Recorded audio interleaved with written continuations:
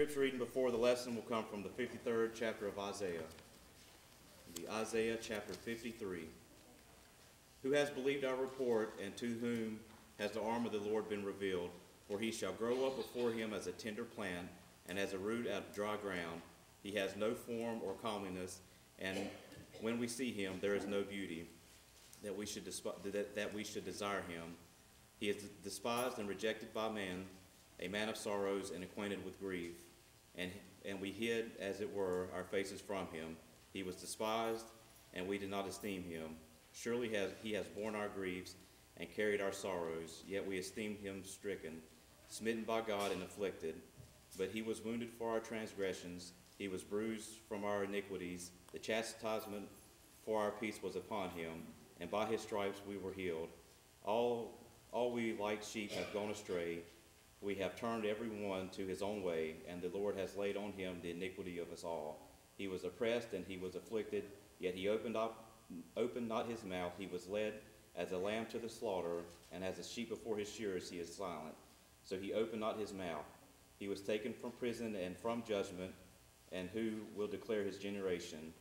For he was cut off from the land of the living, for the transgressions of my people he was stricken. And they made his grave with the wicked, but with, his, but with the rich at his death, because he had done no violence, nor was any deceit in his mouth. Yet it pleased the Lord to bruise him. He, was, he has put him to grief. When you make his soul an offering for his sin, he shall see, the, he, he shall see his seed, he shall prolong his days, and the pleasure of the Lord shall prosper in his hand.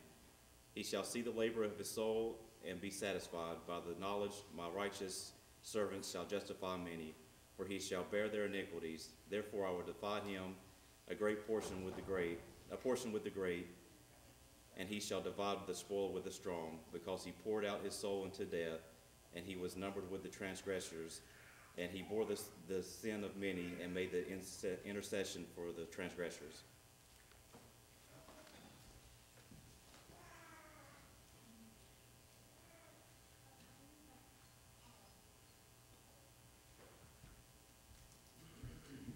How much attention do we pay to the songs which we sing in worship? Is it just repetition? We've sung these same songs for so long that we just know the words and they just naturally flow out. In Colossians 3:16, the Bible there says, "Let the word of Christ dwell in you richly in all wisdom, teaching and admonishing one another in psalms and hymns and spiritual songs, singing with grace in your hearts to the Lord."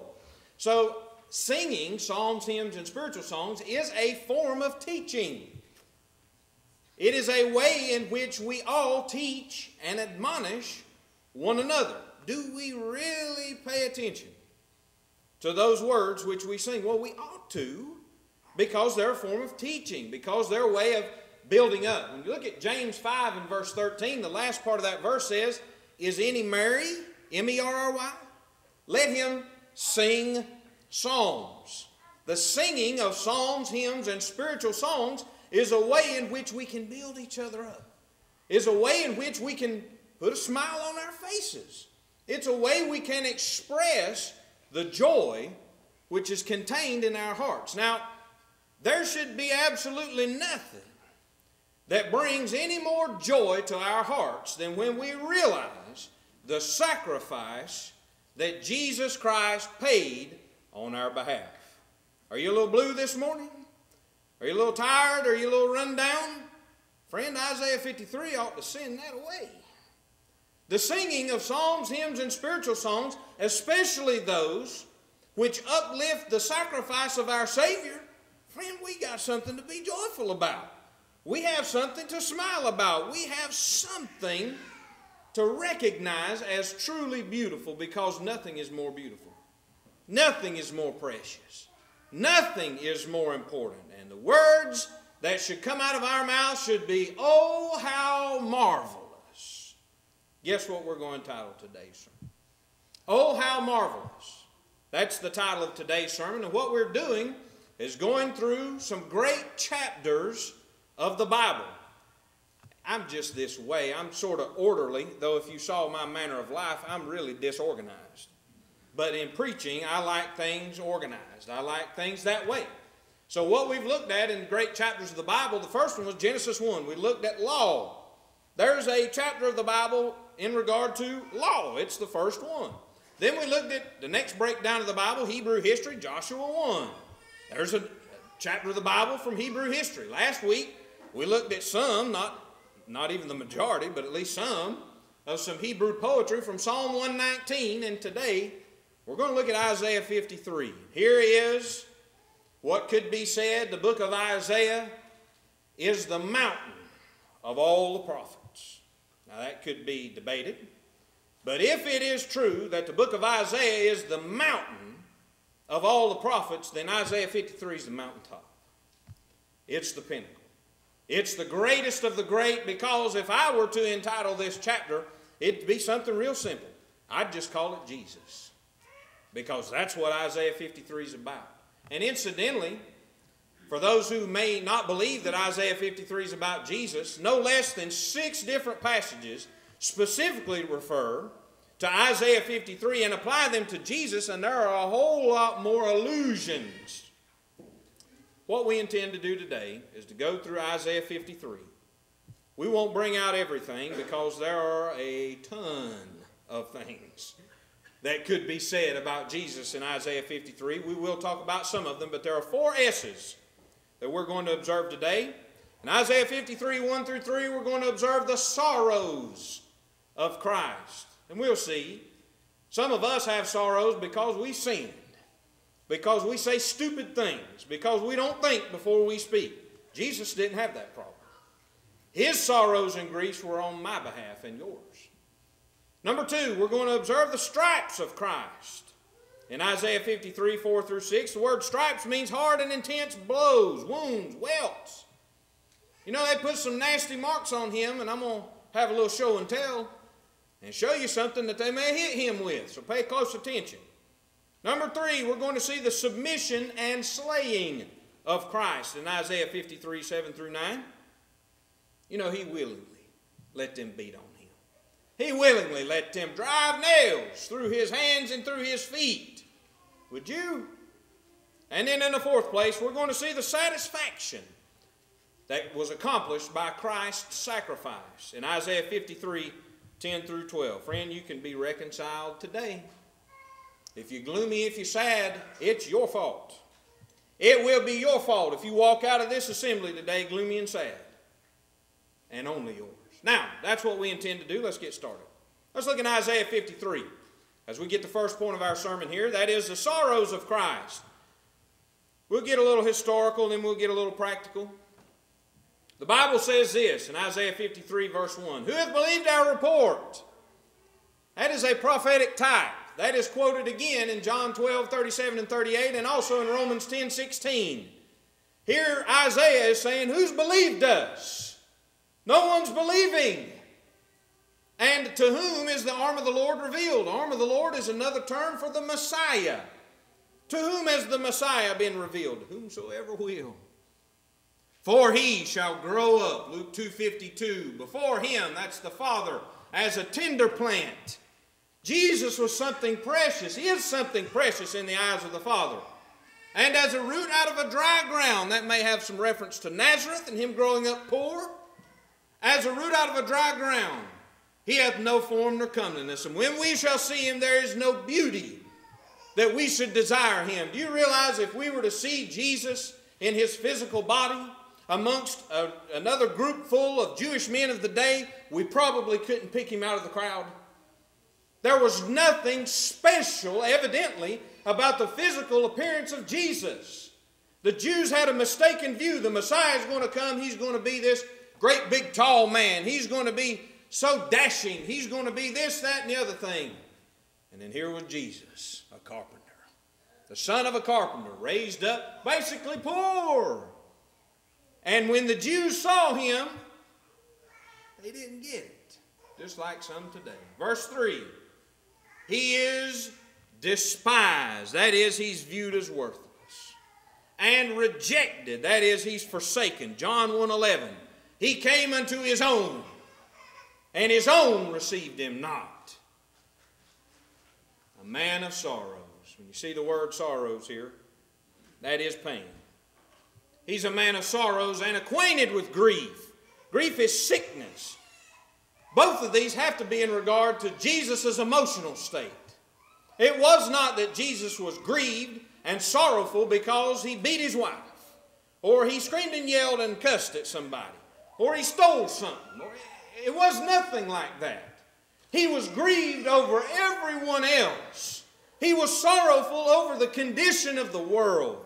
A bunch of people who didn't care. A bunch of people who were more concerned about everything else physically in this life than the spiritual things. A man of sorrows and acquainted with grief, and we hid, as it were, our faces from him. Do you know why that is?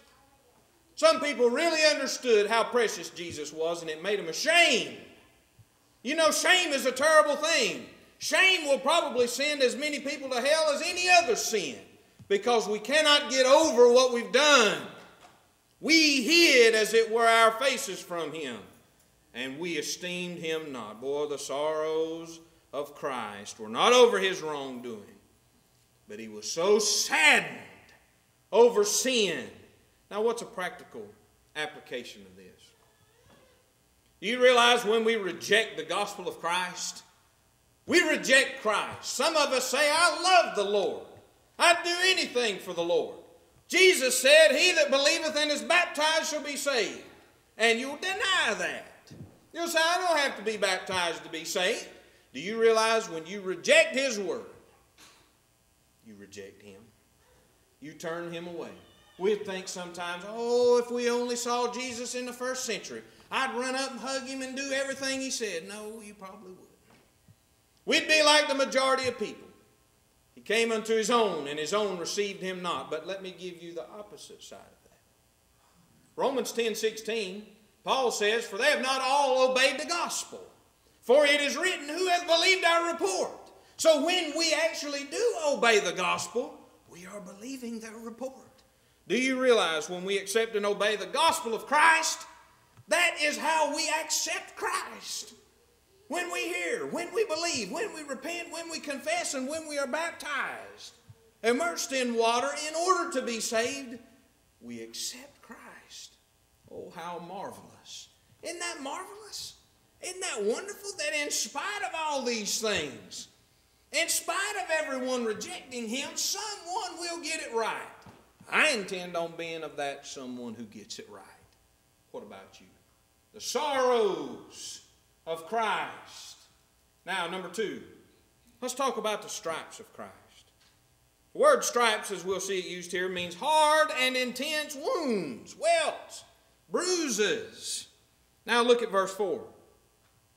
Surely he, that's the Messiah. Who's the Messiah? It's Jesus. Surely he hath borne our griefs. That is, he's lifted them, he carried them all the punishment that was due me was placed upon him. Surely he hath borne our griefs, that is our sickness, and carried our sorrows, that's our pain, but it's our spiritual pain. It's our emotional pain. Do you see that? Are you a wreck today? Are you messed up? Are you burdened down? I know someone who will carry that away. Won't you let him?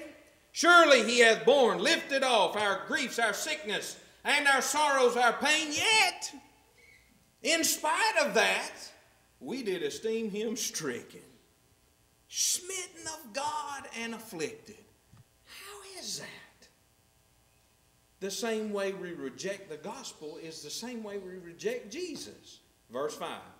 But he was wounded. When you see the word wounded here, it means pierced through he was wounded for our transgressions. Does the Bible say he was wounded for his own transgressions? No. Mine, our, that includes Isaiah. He saw it. He was wounded, pierced through for our transgressions. He was bruised. Bruised does not give all that word. That word means totally crushed. He was crushed. Yes, his body was afflicted, but his spirit he took on all our burdens. How do you feel about your own sins? When you sit there in the dark of the night and think about the things you've done, how do you feel? Imagine doing that for everybody. Do you see that? He was wounded for our transgressions, he was bruised, crushed for our iniquities.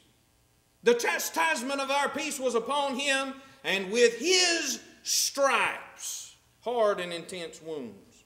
I got here for you. You see this here? This is called a Roman flagrum. The Romans didn't invent this, but they perfected it. It is something along this line. You see that? That's lead, it's got some nails, it's got some chunks of glass. The Romans perfected it. Some people call it a cat of nine tails, but this is a little different. See how that keeps it separated? You can work on a man and work on a man and work on a man, and all the blood won't get stuck up in that. It won't stop it. Now, you think you're tough? Let me hit you with this. Let me peel your clothes off and strike that across your back once. Do you realize the New Testament says it very simply? He was scourged. This is what they did the scourging with. This is what put stripes on him. Do you see that? Why were those stripes put there? They were not put there, friend, because of his own sin. They were put there because of mine. They were put there because of yours. Does that not do anything? Is there a soul left that that doesn't bother? It should, very much so. But what does it say? With his stripes we are healed. 1 Peter 2:24 makes it clear. That healing is a spiritual healing. It took him suffering physically to heal us spiritually. Isn't that crazy? And sometimes we still don't even care. We still won't give him our best. We still won't obey the gospel and get out of our sins. Look at verse 6. Oh, we, like sheep, have gone astray. Not just some of us, all of us. Qualify that. Romans 3:23 for all have sinned and come short of the glory of God. Babies haven't sinned, young children haven't sinned, but sooner or later they will. All of us are going to stand at some point in time in need of a Savior who took my stripes. What will you do? All we like sheep have gone astray. We have turned everyone to his own way, and the Lord hath laid on him the iniquity of us all. When you see the word laid on him, it means struck him with.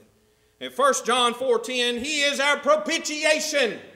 He's our substitution. He died and suffered on my behalf. Do you know the Bible teaches that? We get so caught up in work, we get so caught up in trying to make a dollar, we forget this. This is what matters. Is there an application for that? I think so. Why were the stripes laid upon the fleshly body of Jesus? Let us never ever forget. He was innocent and I'm guilty. He was innocent and you're guilty. You lied. You stole. You cheated. You fornicated. Not him. All of us did it. How do we treat him? Like a dog sometimes. He brings us spiritual healing. How does he do that? By our obeying the gospel. Does that not? Oh, how marvelous. Isn't that marvelous? Isn't that wonderful? Number two, the stripes of Christ. Now, number three, Isaiah 53 7 to 9, here we'll see the submission and slaying. They killed him of Christ. They didn't just beat him and stripe him, they killed him. He was oppressed, Isaiah 53 7, and he was afflicted. Is that what the Bible says? Yet he opened not his mouth. Boy, he allowed himself to be punished. You imagine having the authority and the ability to call more than 12 legions of angels and annihilate this place. Can you imagine that? Having that power and authority and willingly going and taking on the beating of the whole world. Boy, that's something, isn't it? He was oppressed and he was afflicted, yet he opened not his mouth. He did not repay insult for insult. You know, they spit on him. They spit on him. They beat on him. And how did he act? He didn't bow up on them. He didn't swell up on them. He didn't pull out a ninja move on them, did he? He submitted. He did what was right because he saw the big picture. Yet he opened not his mouth. He is brought as a lamb to the slaughter, and as a sheep before her shears is dumb, that is silent, so he openeth not his mouth. John 1:29, John the Baptist saw it. Behold the Lamb of God which taketh away the sin, the whole sin of the world. Do we see that about Jesus? Verse number 8. He was taken from prison and from judgment. And who shall declare his generation? For he was cut off. The Hebrew word here for cut off, always, every single time, brings the idea of a violent death. Don't think that it was just calm. Don't think that it was nice. Don't think that those Roman soldiers took it easy on him. They uncorked on that man. They went off on him. For what purpose? For my benefit, for your benefit, for everyone's benefit. He was cut off, violently killed out of the land of the living. It almost brings the idea of a flower. You know when you go pick flowers? Do you go pick a flower before it blooms? Probably not. Do you pick a flower after it's bloomed and already began to wither? No. You pick a flower right at its peak. That's the idea. When Jesus was at his peak, they cut him off out of the land of the living. Here it said again For the transgression of my people was he stricken. My people here, when you look at it, maybe has an idea of the Jews, but when you look at Genesis 1:27, every human being is made in God's image. God is the Father of spirits. Therefore, He is the Father of us all. Acts 17 29. For we are the offspring of God. So it wasn't just for the Jews that Jesus died. It wasn't just for the righteous that Jesus died. It was for everyone. For the transgression of my people was he stricken. Verse 9. And he made his grave with the wicked was he not crucified between two thieves? And with the rich in his death, was not Joseph of Arimathea a rich man? Indeed he was, because he had done no violence. You see how submissive our Lord is. Here we are, a bunch of rebels. Here we are, a bunch of fighters. Here we are, a bunch of backbiters. And yet he did no violence, neither was any, not the first lick of deceit was in his mouth. Now, practical application. For what purpose, yet again? What purpose exactly did Jesus die? Why exactly did he die? Do you realize he died for me? We could say, well, Jesus died for the whole world. Man, make it personal. He died for you. He died for me. He died for me so that I might have life eternal. He died for you so that you might have life eternal. Do we see that? 2 Corinthians 5:21 Jesus suffered for me in my place. You know who should have been beat with that? Me. You know who should have had nails driven through his hands and feet? Me. Not him. But you know why? He knew I couldn't do it. He knew I couldn't live how I needed to live in order to qualify to get there, but he did it. Number three, we see the submission and the slaying of Christ. Brethren, they killed him. They killed him. But now, number four, you know, there was some satisfaction that was accomplished by this. And to the ignorant, to the unlearned, they'll say, Bro, that's awful, man. You're just beating on a person, killing them, they're bleeding all over everything. What are you talking about all this blood for? Why are you bringing up here stuff like this? Let me put it on this side so this bunch over here can see it and stare at it for a little while. Why are you putting up stuff like this so I can see it? So it'll impress the truth on your minds. You need a Savior. You need somebody to help you. Verse 10 Yet, in spite of all that, yet it pleased the Lord. It pleased the Lord to bruise him, same word, crush. It pleased the Lord to crush him. How so? He, that's the Lord, hath put him to grief. Why? Because there had to be a plan in eternity. Jesus is that plan.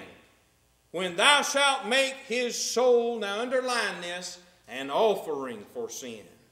Jesus did not literally become sin, but he became a sin offering. He was offered acceptably to God on my behalf. When the Bible te- speaks about him taking on our sin, he took on the punishment due for our sin. The Lord was not the worst sinner ever. You may hear someone say that. His soul was an offering. He was a blemishless, spotless lamb offered for my sins. It hath pleased the Lord to bruise him. He hath put him to grief. When thou shalt make his soul an offering for sin, he shall see his seed. This is in regard to the resurrection. Friend, it doesn't stop at the death and the burial. He got back up. He shall see his seed. His seed is spiritual Israel, Galatians 6.16. the Israel of God is the church of Christ. Without his death, burial, resurrection, and ascension, we would have no church. We would have no blood bought people. He shall see his seed. He shall prolong his days. There's no doubt that's about the resurrection. And the pleasure of the Lord shall prosper in his hand. He shall see of the travail of his soul and shall be satisfied. If I were to offer myself as a spiritual offering unto God, it wouldn't satisfy the Lord. You know why? I tainted myself with sin a long time ago. You don't qualify either. You know why? You tainted yourself with sin a long time ago, more than likely. And if you have not yet, you probably will. Just watch and see. But thanks be to God, even though we can taint ourselves with sin, something and someone loved me enough to get rid of that. And shall be satisfied. By his knowledge shall my righteous servant. That's Jesus. How do you miss that? Justify many. That is, justify the many. Every single person who desires to obey the Lord's gospel can be just if I'd never sinned. You can be washed clean from the tainting your soul of sin.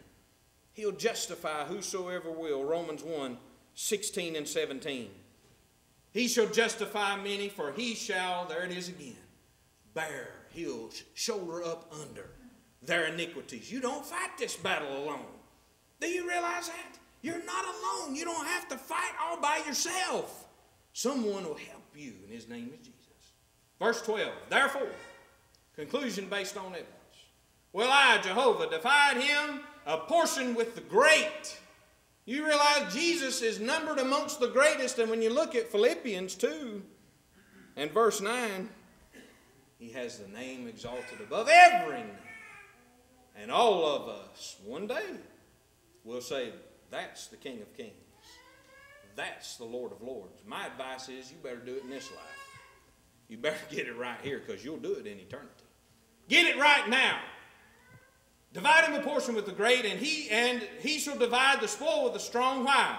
Because he hath poured out his soul unto death. Why did he pour out his life, his soul unto death?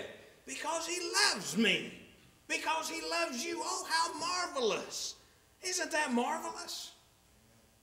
And he was numbered with the transgressors. That's applied directly to Jesus, hanging there between two thieves. And he bare the sin of many, literally the many. He bore the sin of everyone. He tasted death for every man, Hebrews 2 9. But not every man will obey that gospel. Not every man will do what it takes to be reconciled to God and made. Literally, he keeps on making intercession for the transgressors. Hebrews 7 25 and 1 John 2 1 and 2. Now, what's a practical application of this? We entitled this point Satisfaction. How, how's there satisfaction? You know what the satisfaction is? Reconciliation. Easy definition of the word reconciliation make friends again. You and the Lord are not friends. If you have sinned, it sin separates us from God. We cease to be the Lord's friend when we start sinning. But by Jesus Christ, by His sacrifice, by His blood, we can be made friends again. Does that not mean anything to anyone? To me, it makes me want to say, Oh, how marvelous. That's wonderful, isn't it? That I have done so wrong and somebody would forgive me of that terrible wrong in spite of everything we've done. What have we talked about today? It's a great chapter of the Bible. There's a whole lot more that could be said, but we boiled it down to this the sorrows of Christ in Isaiah 53 1 through 3, the stripes of Christ in Isaiah 54, 53 4 through 6, the submission and slaying of Christ in Isaiah 53 7 to 9, and the satisfaction accomplished by Christ in Isaiah 53 10 through 12. Do you realize Jesus died for me? Every day we wake up from here long, uh, on, we need to say, Jesus died for me. He died for me so that I might have life. Don't make it impersonal and say the world. Make it Brock. Make it your name. Make it personal. And see if that doesn't change our attitude and actions throughout the day. Love is an action word. And love is something that must be demonstrated, and Jesus demonstrated his love for all mankind in Isaiah 53, 700 and some years before he did it. Isn't that amazing? Indeed, it is. He paid a debt he did not owe, and he paid my debt I could never repay. What must I do? How do I demonstrate my love and devotion to God? How do I show him? Yes, we sing psalms, hymns, and spiritual songs, but I got to start somewhere. There has to be conviction in my heart. I have to believe Jesus died for me. He died on my behalf. Acts 16 31. I have to believe that He is the Christ, the Son of God. Once I see that He died on my behalf, I have to change my mind in regard to sin. If I've been lying, I got to quit lying. I got to make that right. If I've been stealing, I got to quit. I got to make that right. That's called repentance. Acts 17 30. It's commanded of all men everywhere. What must I do? Acts 8:37 teaches I must say, I must make that good confession. I believe that Jesus Christ is the Son of God. Will you do that? But will you go all the way? Will you meet his blood? Acts 22:16. And now why tarriest thou? Arise and be baptized and wash away thy sins, calling on the name of the Lord. Are you burdened down in your conscience? Hebrews 9:14 teaches it's only the blood of Christ that can cleanse your conscience. 1 Peter 3:21 says, "In the like figure whereunto even baptism doth also now save us, not the putting away of the filth of the flesh, but the answer of a good conscience toward God." Baptism will cleanse your conscience. Are you're having trouble sleeping? Make it right. Do so now, as together we stand and as we sing the song of encouragement.